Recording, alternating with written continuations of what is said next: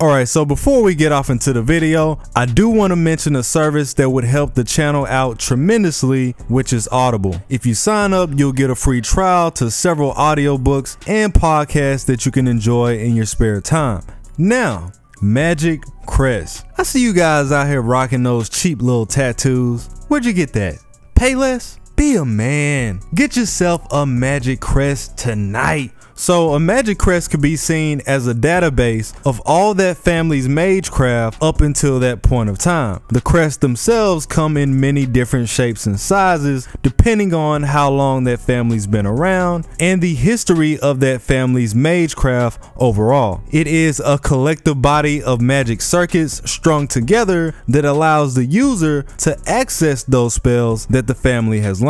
Some things will come more natural than others, some things won't. But the most important part is that you're making it easier for the next person that you pass it off to. Again, this is why people like Kayneth was so lethal because he had nine generations of magecraft ready to go before they even cut the umbilical. As you probably expect, the more each generation puts into a crest, the more complex the circuitry becomes, and thus those powers become more effective for that user. The job of maintaining the crest is usually given to the family heir. In the event that the crest does function properly, that user is going to bypass a lot of hardship. Even if the Magus never studied that spell in their life, the moment they pop in that magic crest, it's gonna be as if they figured it out yesterday. The operation is very similar to what you would see from a normal magic circuit, where the master dumps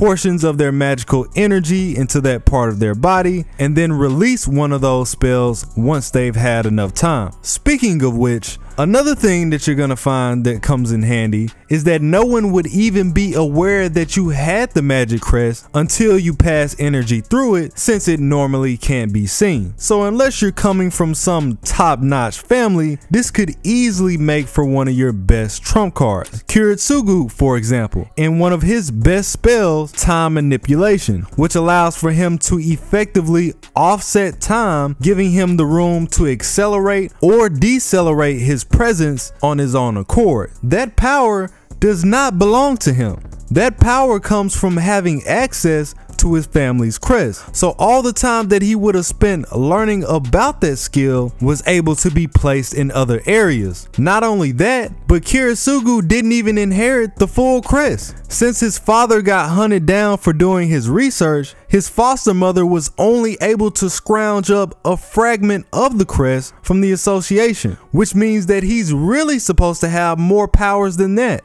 and who knows what that could be. You have the scene with Rin's magic crest, where she fires Gandr bullets at Shiro. Again, the information for that spell is being issued through the crest. The locations that you find these crests can vary depending on the Magus. Kiritsugu's is on his back, Ren has hers on her arm, and Olga has hers in her forehead. This doesn't matter too much since you can only see it when it's in use. Unless it's on your forehead, then in that case, you might want to wear a Scully. Now, when it comes to obtaining a crest, the process is similar to transplanting an organ. It carries the same amount of importance of an organ, and just like any surgery, the transplanting of a crest can go just as wrong. It is for that reason that most people tend to just keep it in the family. Less time, less stress worrying about is there going to be any casualties. And even if you're in the family, there's a high chance that the transplant still might fall through. As a failsafe to make sure that all of their family studies don't go down the drain, mages will often just transplant segments at a time to heighten the surgery's success rate. Another thing that you have to look at is that you usually cannot divide these powers, meaning that only one person can thrive from having the crest. That means there's gonna be a whole lot of family feuds to get that power. Somebody's gonna get kicked to the curb. Just hope that it isn't you. Speaking of getting kicked to the curb, it would be disrespectful disrespectful not to bring up Toko Aozaki. As the child, Toko was the sister that didn't inherit her family's magic crest, which means that she had to go out and get it on her own. Through her studies, she was able to find a way to take the magic crest from other mages and manipulate them to her own desire. Unlike what you would see from the normal format, Toko's magic crest floats behind her in the form of wings. They are not physically attached to her body, meaning that she doesn't have to deal with the pain associated as most mages would normally. If you remember how Kiritsugu's time manipulation almost killed him majority of the time, Toko can circumvent that. The downside to her having this artificial crest is that since she doesn't actually own these crests, she has to keep the owners alive to continue using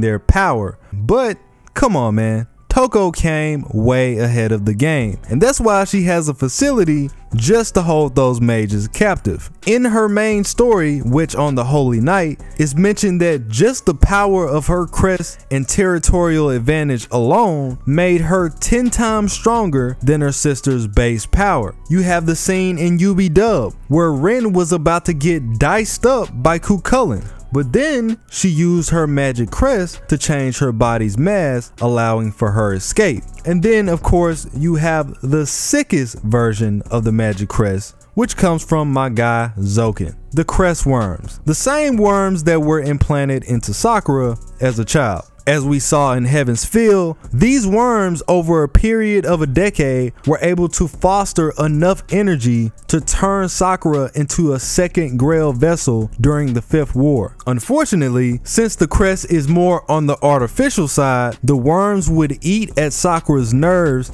and her insides just from having them in her body. The worms also give Zoken reign over the person that has them, since he can make the worms feast on that person whenever he wants. If you do see a boost in power, it's gonna be detrimental to your health. You take a look at how Kariya had access to Zoken's insects and he was barely staying alive. And finally, the foundations of the Magic Crest usually starts out with the first generation implanting a fragment of a mystic code or some type of phantasmal creature during its creation. These are the mages that have it the worst since they're the ones that have to kick things off. I'm gonna catch you guys on the other side. I'm about to cop me one right now. Let me know what you guys think like the video if you enjoyed it.